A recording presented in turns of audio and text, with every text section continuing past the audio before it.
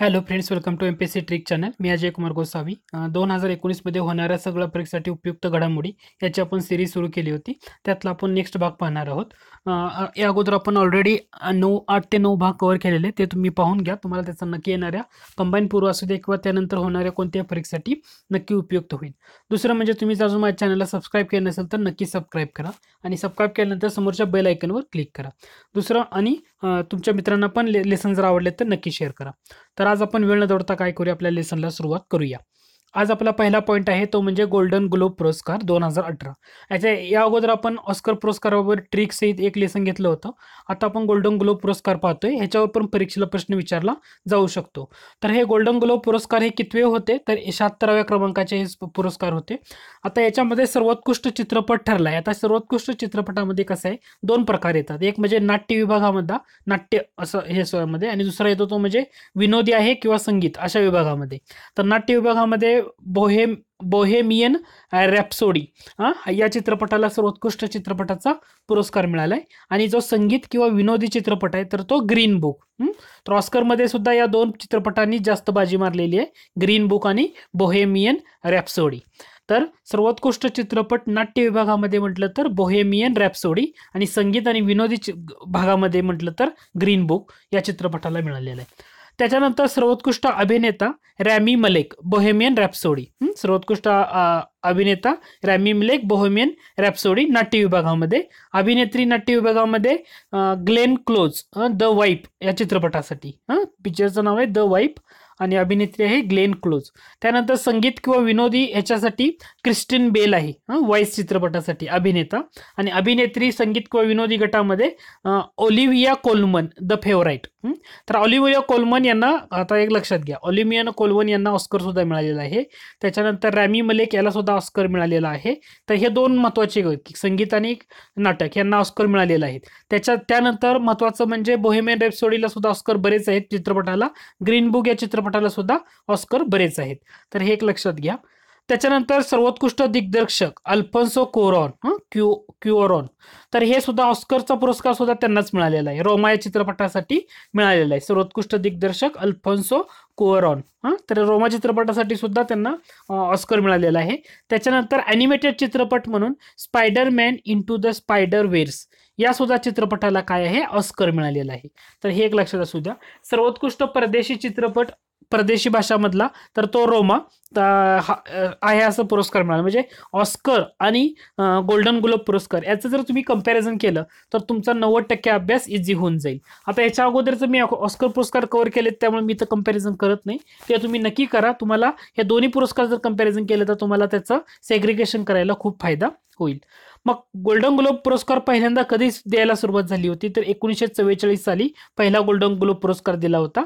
तेव्हापासून हा पुरस्कार दिले जातात. तर हा एक महत्त्वाचा पॉईंट एवढं तुम्ही नक्की लक्षात घ्या. त्याच्यानंतर पुढचा पॉईंट आहे तो म्हणजे खुल्या वर्गातल्या गरिबांना आरक्षण दिलं. सगळे म्हणतो आरक्षण दिलं ठीक आहे.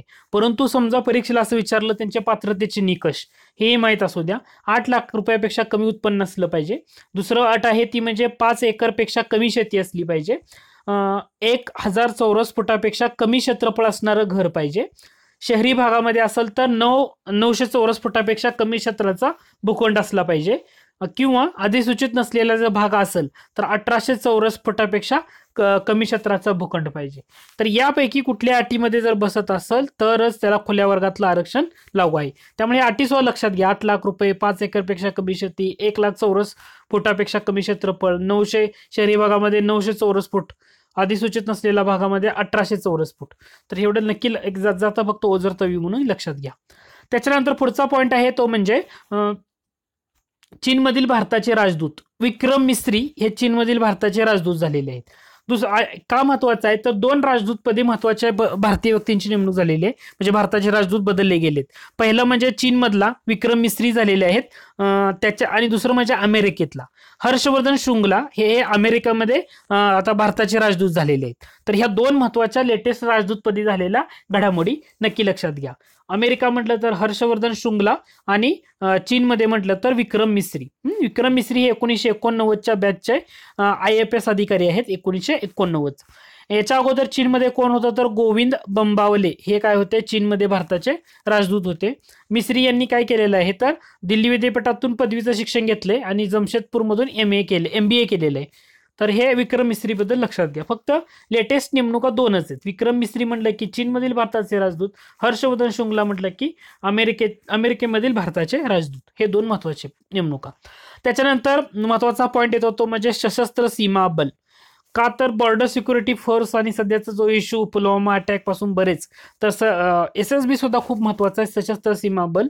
तर त्याचे नवीन महासंचालक म्हणून कुमार राजेश चंद्रा यांची नेमणूक झालेली होती. तर हे कितीपर्यंत यांना पदभार मिळणार आहे? तर एकतीस डिसेंबर दोन हजार एकवीस हे त्यांची निवृत्तीची तारीख आहे तोपर्यंत त्यांना पदभार नक्की मिळेल. तर एक लक्षात असू द्या की एस एस बीचे महासंचालक नावच फक्त महत्वाची नियुक्ती कुमार राजेश चंद्रा. त्याच्यानंतर पुढचा पॉईंट आहे ते म्हणजे पहिलं ग्लोबल एव्हिएशन परिषद. पहिली ग्लोबल एव्हिएशन परिषद कुठं आयोजित करण्यात आली होती? तर ती भारतातच पहिल्यांदा झाली होती. नवी सॉरी मुंबई या ठिकाणी ही परिषद आयोजित करण्यात आलेली होती.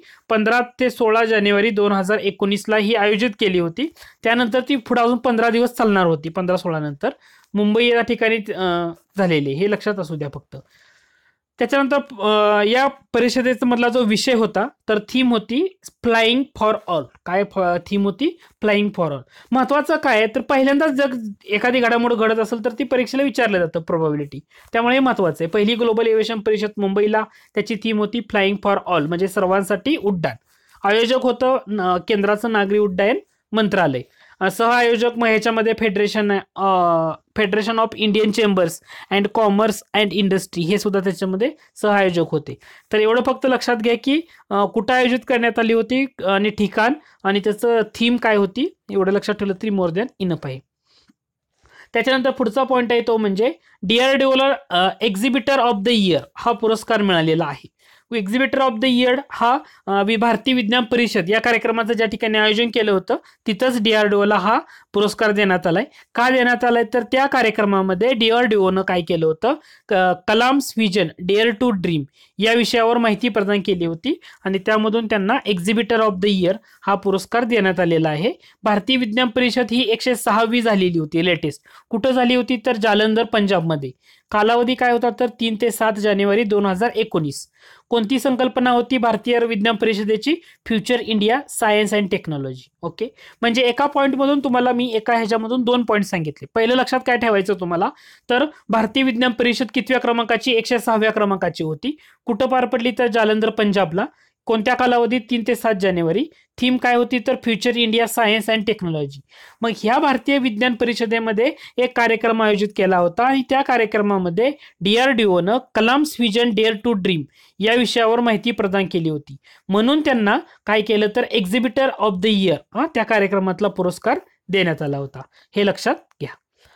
त्याच्यानंतर पुढचा पॉईंट आहे ते म्हणजे औरंगाबादला सुद्धा आता क्रीडा विद्यापीठ होणार आहे. मणिपूरचं जसं घोषणा झाली तसं औरंगाबादला सुद्धा क्रीडा विद्यापीठ होणार आहे. त्याच्यानंतर एक पुढचा पॉईंट आहे तो म्हणजे खेलो इंडिया ह्या योजनेचा प्रारंभ झाला होता.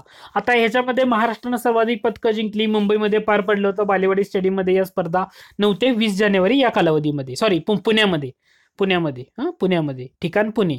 आता याच्यामध्ये महत्त्वाचं काय मला वाटलं तर त्याची संकल्पना काय होती ते सुद्धा महत्त्वाचे आहे. सपने भरे उडान. ही काय होती? खेलो इंडिया. या वर्षीची जी टुर्नामेंट पार पडली तर त्याची संकल्पना होती. काय होती? सपने भरे उडान. याचा शुभंकर होता विजय हा शुभंकर होता विजय. किती राज्यांनी सहभाग घेतला होता? तर छत्तीस राज्यांनी सहभाग घेतला होता. क्रीडा प्रकार किती होते? तर चारशे पाचहून अधिक क्रीडा प्रकार होते. दुसरं महत्वाची गोष्ट म्हणजे याच्यात पहिला क्रमांक कोणी पटकावलेला आहे खेलो इंडियामध्ये. याच्याबद्दल मी डिटेल पुढे सांगणारच आहे. तेव्हा आपण अजून डिस्कस करूया. फक्त मला काय सांगायचं होतं की संकल्पना त्याचं ठिकाण किती क्रीडा प्रकार आणि शुभंकर. त्याच्यानंतर पुढचा पॉईंट आहे तो म्हणजे फिरोदिया जीवन जीवन गौरव पुरस्कार. तर हे फिरोदिया विज्ञान क्षेत्रामध्ये जे उल्लेखनीय कार्य करतात ना त्यांच्यासाठी देण्यात येणारा हा एच के फिरोदिया पुरस्कार आहे. Tata institute of fundamental research संस्थेचे संदीप त्रिवेदींना हा संदीप त्रिवेदींना विज्ञान रत्न हा पुरस्कार मिळालाय. म्हणजे एच के फिरोदिया विज्ञान रत्न पुरस्कार कोणाला मिळालाय? संदीप त्रिवेदीला. फक्त नाव एकदा रिकॉल करून घ्या. कदाचित विचारलं जाऊ शकेल. त्याच्यानंतर सत्यजित मेयर जे आहेत तर त्यांना विज्ञान भूषण मिळालं आहे हा? मेयर म्हटलं की भूषण हा? विज्ञान भूषण.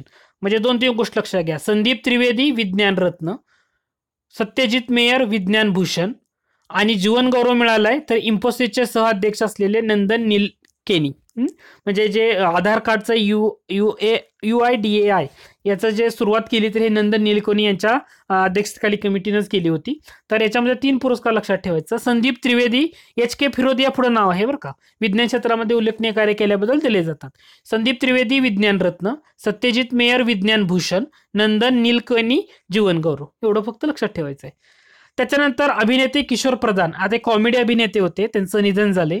ऍक्च्युली मराठी चित्रपटामध्ये त्यांनी बऱ्याचशा कार्यक्रम केले त्याच्यामध्ये शिक्षणाचा ऐक शिक्षणाच्या ऐक आयचा घो हा एक चित्रपट आहे लालबाग परळमध्ये पण काम केलंय. भिंगरी चित्रपट असेल किंवा सगळ्यात गाजलेला चित्रपट म्हणजे मी शिवाजीराजे भोसले बोलतोय. हा ह्या चित्रपटामध्ये सुद्धा त्यांनी कार्य केलेलं होतं. तसंच लगेराव मुन्नाबाई याच्या म- चित्रपटामधील खट्याळ आजोबाची भूमिका असेल किंवा जब वी मीट या चित्रपटामध्ये स्टेशन मास्तरची भूमिका सुद्धा त्यांनी केली होती.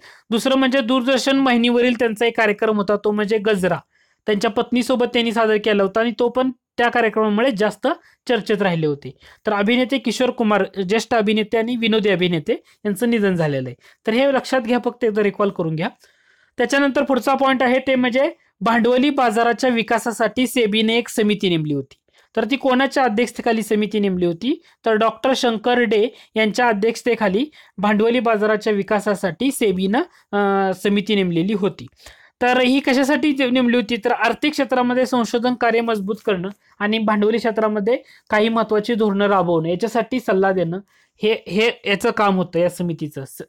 तर या समितीमध्ये अर्थतज्ञ प्रमुख अर्थतज्ञ बरेचसे होते आणि शेअर बाजारातल्या सदस्यांचा समावेश होता. फक्त लक्षात घ्या बाज भांडवली बाजाराच्या विकासासाठी सेबीने नेमलेली समिती शंकर डे. मग आता प्रश्न असा उरतो की या समितीला बरेच कार्य करायचे म्हणजे भांडवली बाजारामध्ये विशेष धोरणं तयार करणं काही ठिकाणी मार्गदर्शक तत्व निश्चिती करणं संशोधन आदान प्रदान हे काय बेसिक आहे. परंतु तुम्हाला लक्षात काय ठेवायचं? तर सेबीची स्थापना कधीची आहे? तर सेबीची स्थापना एकोणीसशे अठ्ठ्याऐंशीची आहे. परंतु त्याला वैधानिक दर्जा कधी दिलाय? तर तीस जानेवारी एकोणीसशे ब्याण्णवला सेबीला वैधानिक दर्जा दिलेला होता. आणि याचं मुख्यालय कुठं आहे? तर मुंबईला आहे. मुख्यालय कुठं आहे? तर मुंबईला आहे. एवढं लक्षात ठेवा. त्याच्यानंतर पुढचा पॉईंट आहे ते म्हणजे न्यू न्यूयॉर्क सुप्रीम कोर्टाच्या न्यायाधीश. नाव आहे उशीर पंडित दुरांत. हा? उशीर पंडित दुरांत. या का चर्चेत आल्या होत्या. तर त्यांनी भगवद्गीतेवर हात ठेवून शपथ घेतली होती. आणि अशा प्रकारे शपथ घेणाऱ्या त्या पहिल्या अमेरिकन न्यायाधीश ठरलेल्या होत्या. त्यामुळे ह्या चर्चेत आल्या. होत्या फक्त नावच महत्वाचं आहे. न्यूयॉर्क सुप्रीम कोर्टाच्या न्यायाधीश म्हणून उशीर कुम पंडित दुरांत यांची निवड झाली होती. तर त्यांनी काय केलं होतं? तर भगवद्गीतेवर हात ठेवून शपथ घेतली होती. मग त्यांनी पंधरा वर्ष डिस्ट्रिक्ट एटर्नी म्हणून काम केले दोन हजार पंधरामध्ये क्वीन्स जिल्हा सत्र न्यायालयामध्ये न्यायाधीश झाल्या होत्या. या काही इतर गोष्टी आहेत. परीक्षेसाठी फक्त एवढाच पॉईंट महत्त्वाचा आहे की ज्याच्यावर तुमची फोकस केला पाहिजे. त्याच्यानंतर पुढचा पॉईंट आहे तो म्हणजे खेलो इंडियाचा. मी ऑलरेडी मगाशी सांगितलं होतं त्याचं.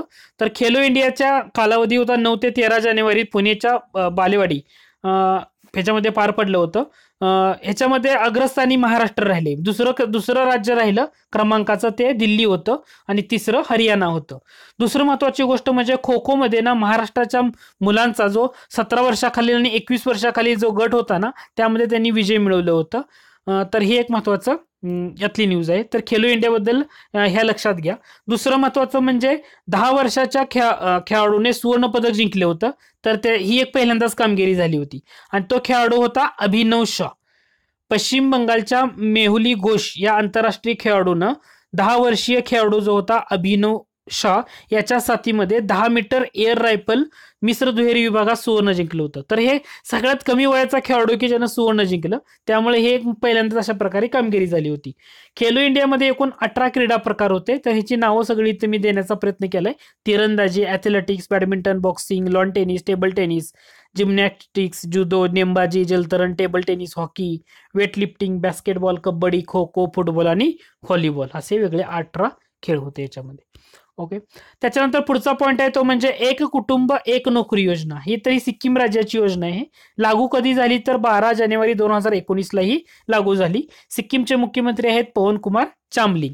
तर त्यांनी एका घरामध्ये एक ॲटलिस्ट एका सदस्याला नोकरी सरकारी नोकरी द्यावी अशा प्रकारे ही योजना राबवत आहेत.